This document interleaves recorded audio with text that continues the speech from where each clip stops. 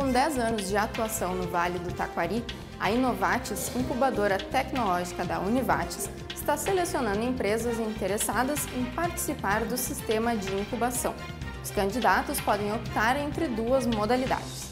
A primeira modalidade é a regular de residência interna, destinada a empresas que desenvolvam produtos, processos ou serviços nas áreas prioritárias da Inovatis.